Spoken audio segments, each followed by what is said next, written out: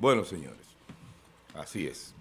Bien, vamos a continuar con el contenido de nuestro programa del día de hoy. Vamos a ver, miren, eh, eh, ingresaron en sala de aislamiento del Hospital San Vicente de Paula dos pacientes diagnosticadas con coronavirus o con sospecha, ¿no? Más bien. Sospecha. Sí, más bien sospecha. Eh, según informaciones no oficiales, en la noche de ayer lunes fueron trasladadas desde Samaná dos pacientes quienes supuestamente fueron diagnosticadas con coronavirus.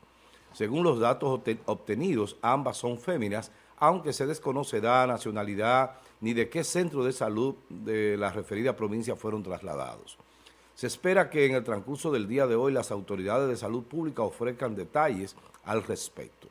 Ahí están las imágenes. Se ve el momento de la llegada al hospital, ¿verdad? Sí. Vamos a ver entonces eh, qué respuesta dan las autoridades en el día de hoy, que me imagino que estarán en disposición, ¿verdad?, de decir si esto se trató de lo que se sospecha o si no. Sí, eh, deben de haber alguna rueda de prensa de parte del hospital, de la dirección del hospital, el doctor Ureña y sus médicos encargados. Yo sigo pensando que el caso se está tratando con irresponsabilidad de parte del gobierno central. ¿Por qué? Por lo siguiente, si tan solo se infectaran el 5% de la población, con las condiciones que hay aquí, que hay poco control, que hay que reconocer eso, lamentablemente, ese 5% correspondería a medio millón de personas infectadas. Y si de eso la media que hay de hospitalización es el 20% por sus condiciones de problemas respiratorios, diabetes, eh, envejecientes, Estamos hablando de 100 mil personas. Y esas 100 mil personas colapsarían el sistema de salud dominicano. ¿Por qué?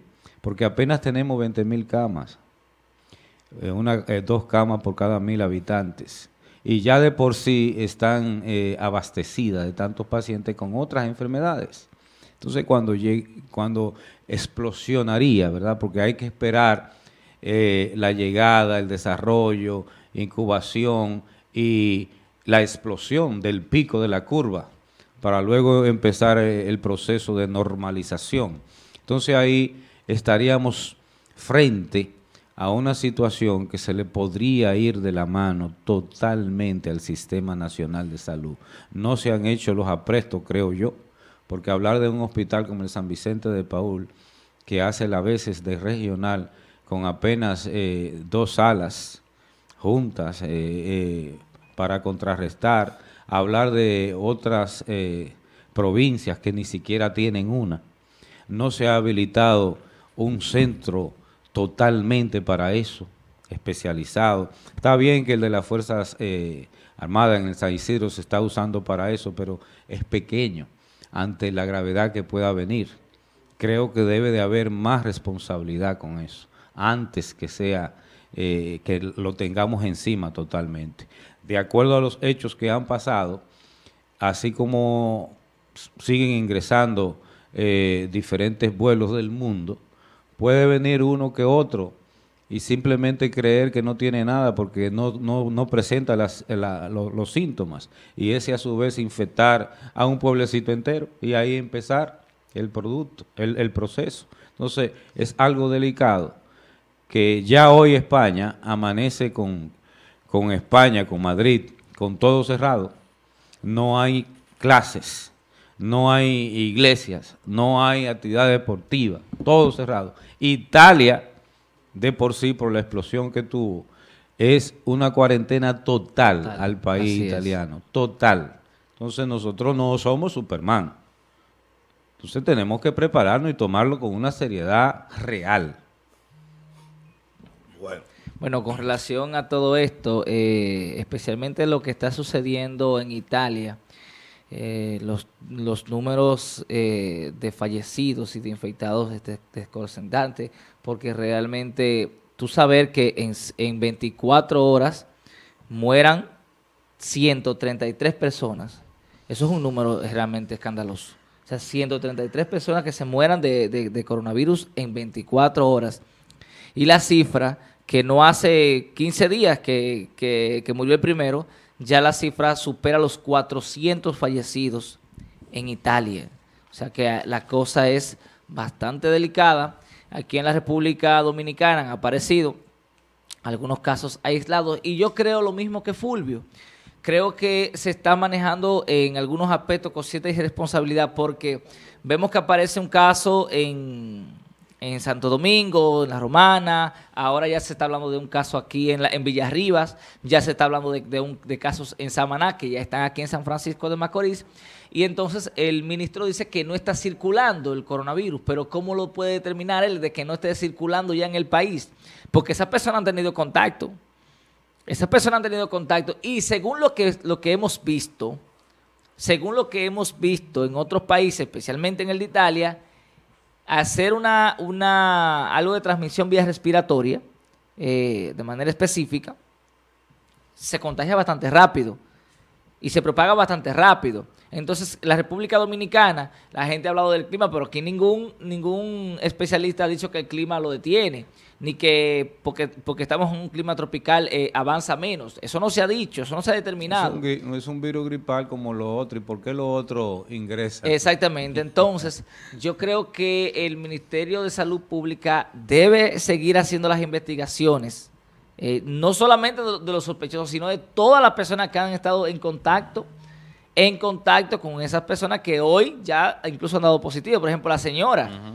eh, de, de Villarriba, que qué pena que ella esté pasando por esta situación porque lo entendemos que es un ser humano y que tiene sus derechos, pero necesariamente tenemos que proteger a la población. ¿Y qué resulta? Hay que ver dónde, dónde ella estuvo. Eh, cuando fueron a, a, a buscarla, eh, creo que el segundo día, que dicen que ya se iba a comprar una, una, una tarjeta, una recarga.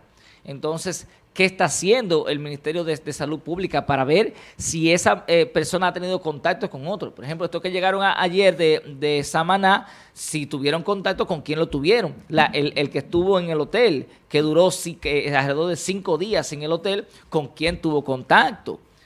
Eh, y se le dio vacación entonces al personal del hotel, pero no se, buscar, no se buscaron, debieron dar todo en cuarentena. Ya veremos en lo adelante los resultados de todo esto y ojalá que no sean catastróficos para nuestro país. Mi pregunta es, ¿la señora de Villarriba se le de diagnosticó el virus? Sí, ellos dicen que sí.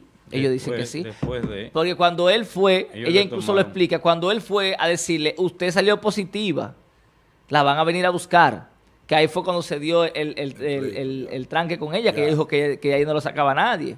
Pero si ellos aparentemente, y, y ojalá Morissetti hable, porque hemos tratado de comunicarnos con Morissetti y no nos ha dado la información de aquí. Quien ha hablado es el ministro allá, pero creo que Morissetti y el director de salud de aquí de, la provincia ha debido hablar sobre esta situación y poner a la gente en contexto.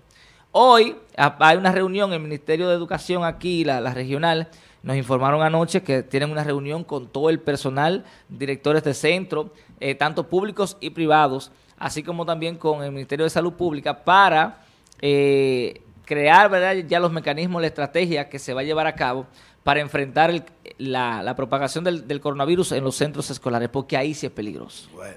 Ahí sí es peligroso en los centros Esa escolares. es otra cosa que yo vuelvo y recalco. ¿Eh? En los centros escolares que ni agua hay para lavarse las manos. Eh, eso es fuerte. Y, y, yo veo yo veo las autoridades como tan light, tan relajadas, como que eh, han tomado esto de una manera, eh, vuelvo y digo, poco responsable, sinceramente.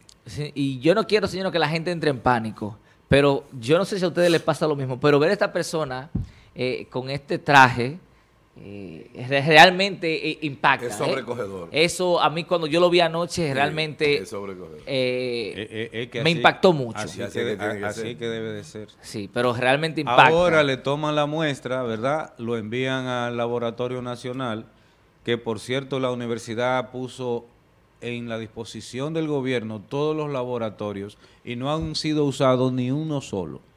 Nada solamente está el Laboratorio Nacional. Y aquí hay muchas instituciones que tienen laboratorios de alta calidad que pueden hacer el examen. Claro, así es. Bueno, señores, eh, hay que abogar porque las medidas se tomen con, digamos, con más vehemencia. Sí, porque hasta sí, ahora sí. se ha, ha, habido, como ustedes plantean, una, una situación de mucha eh, mucho relajamiento de la autoridad de las autoridades. Sí, sí, sí, eh, quizás lo que se está manejando básicamente es, el, lograr un equilibrio entre asumir la responsabilidad de la, de la enfermedad, pero al mismo tiempo evitar el pánico. Eh, pero hay que equilibrar ambas cosas, porque en definitiva tampoco podemos tomarlo como que la ciudad se derrumba y yo cantando, como dice Silvio Rodríguez. Pero tampoco se puede eh, tomar con, alarma para evitar el pánico general. Entonces, ahí es que hay que equilibrar las acciones. Que aun cuando no se diga, mire, esto se está acabando el mundo, pero que se note que se está haciendo el trabajo. Y que se sepa que a nivel mundial está afectando ya la economía. Exactamente. Ya el petróleo tiene precios de niveles del 1991. La bolsa se Mira, La bolsa también. El tema del pánico, eso es algo, eh, ¿cómo te digo?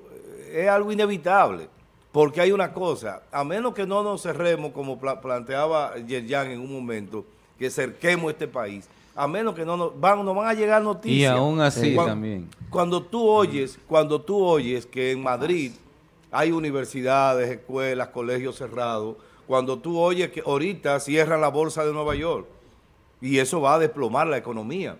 Inmediatamente pase eso, porque habrá... Las clases en esos países afectados de, de posgrado, altos grados, se está trabajando a través del internet. Exacto. no presencial. En línea, sí, exacto. en línea. O sea que, es, necesaria que las, es necesario que las autoridades den una respuesta que se note, que la ciudadanía puede estar tranquila en cierto modo, en el sentido de que vea a sus autoridades eh, eh, trabajando, haciendo las cosas como deben Amado, hacerse. Sixto Gavín nos está dando la información en el WhatsApp, muchachos. Ajá eh, Sixto Gavín eh, ahí nos, nos, envía la declaración de prensa, dice que el Comité Ejecutivo Municipal de la ADP anunció la puesta en marcha de un operativo de prevención sobre el coronavirus en todos los centros educativos de San Francisco de Macorís.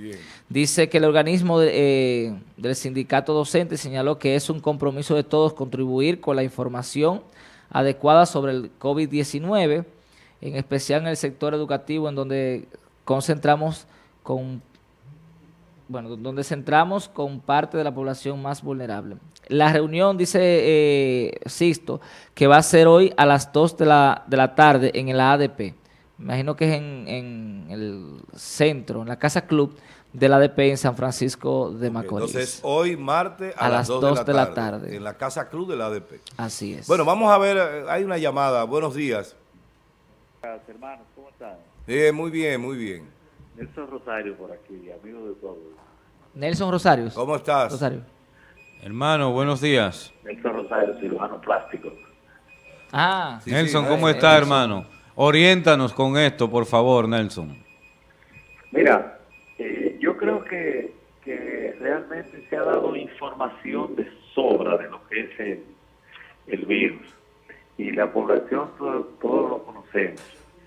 Eh, lo que veo que la puerta de entrada, o sea, en los aeropuertos, no, no se ha limitado como han hecho otros países. Lamentablemente aquí tenemos unos casos que todos vienen de Italia.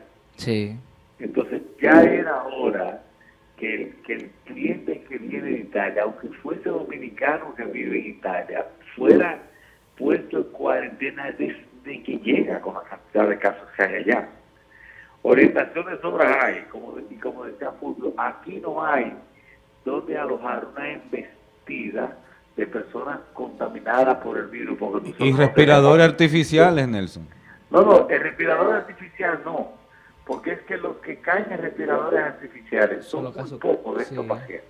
Doctor, oh, eh, pero eh, tenemos entendido, a propósito de lo que usted está diciendo de, de la entrada, que estaban prohibidos durante 30 ah, ah, días los vuelos. Ayer fue, ayer, ayer. La rueda de prensa del aeropuerto de, Punta Cana se hizo ayer. No, pero que hace ya como una semana que el ministro dijo que, se, habían prohibido los viajes a, Italia. De Milán llegó el último, antes de ayer. Entonces, entonces miren la, otra situación. Esa, esa imagen del personal que llega de Paná, eso está bien, porque así es que se debe de manejar eso. Y el, el hospital San Vicente de Paul debió de estar preparado para recibir ese tipo de pacientes, ya con una sala destinada para eso, porque esos pacientes no vienen graves, lo que vienen es, contaminados. Ellos no están graves, ellos, ellos, ellos necesitan aislamiento, no necesitan cuidado intensivo. Ahora, esos pacientes analizados ahora deben ser referidos a remodelar. En el cruce, que ese paciente llega aquí, si es manejado de la manera correcta, no tiene por qué contaminar a nadie, si es manejado de la manera correcta.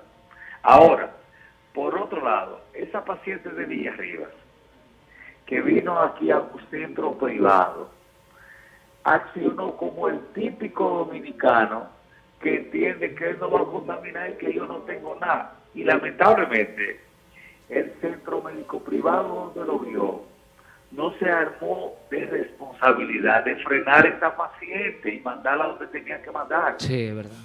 A veces los centros, porque no se, se nos caiga la cuadra encima y decir, aquí yo tengo un coronavirus y que el cliente se va a limitar a llegar donde nosotros. Yo lo he hecho y mejor curso de irresponsable para no tirarme el problema arriba, que eso fue lo que pasó aquí. Que de hecho eso debería ser sancionado el punto de vista de salud. Eso no debe de ser. Ese caso debió ser aguantado en este centro, aislado, diagnosticado y enviado donde están los pacientes aislados aquí en el país. Esa es la situación. Yo creo que Salud Pública, el Ministerio, ha dado todas las informaciones y más. Es tarde los aeropuertos cerraron la entrada, cuando ya tenemos el virus. Y el virus está aquí por esa persona está. Lo que hay ahora que cuidar a la población de contaminación. Pero yo creo que todavía no es difícil eh, eh, eh, frenar la barrera. Lo que hay que frenar son los aeropuertos. Bien, gracias. Gracias, doctor Nelson, por eh, su intervención interesante. Eh, las, Los planteamientos de este eh, amigo médico, conocedor muy bien del, mundo ¿verdad? de la medicina, de, la salud. De cosas, exacto, de la salud, de cosas que nosotros realmente no manejamos. Pienso que el asunto de evitar el foco era lo principal. Claro, eso. Ha dicho claro, claro.